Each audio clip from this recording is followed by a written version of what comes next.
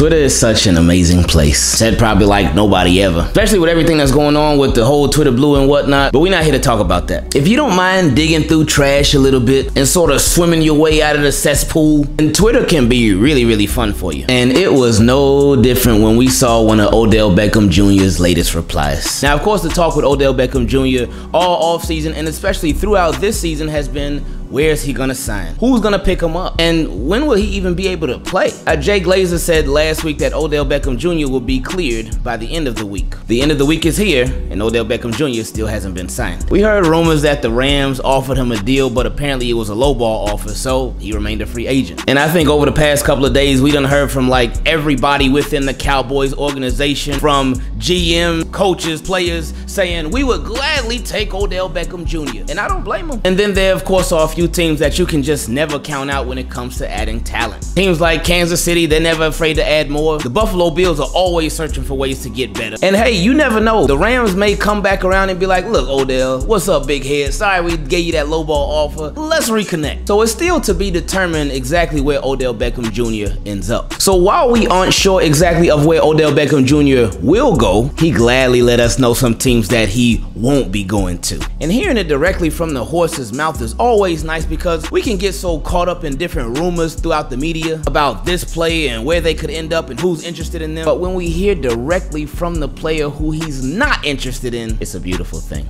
Now, Sir Yacht, who Browns fans are all familiar with, he's a super Browns fan, has a podcast, does a lot of content creation, pretty funny too. He just recently applied and was accepted for Twitter Blue. And I'm on that same boat as well, even though it seems like Twitter Blue is gonna come and go in a heartbeat. But anyway, Sir Yacht decided to use that check mark to his advantage. And this is what he did. He tweeted, Hey, OBJ, don't reply to this if you're signing with the Browns. And this is a tweet that we see often from people when they sort of want to give people a humor filled hope that, hey, this player, if they don't respond, then that means whatever we're putting in this tweet is true. Because we know normally a lot of players, they won't respond to something like that. So it gives people a small glimpse of hope. Odell Beckham Jr. took his eraser and wiped out any Browns fans' glimpse of hopes that they had for him returning. Because he responded and he said, Hey, bro. So that let it be known that Odell Beckham Jr. will not be returning to Cleveland. So Graham Teitke decided to take it a step further. My apologies if I said your name wrong. And Graham covers the Broncos, and his verified check is legitimate. He didn't have to pay for it, unlike Sir Yacht and myself. But anyway, he took it a step further and replied to OBJ and said, Hey, OBJ, don't reply to this if you're signing with the Broncos.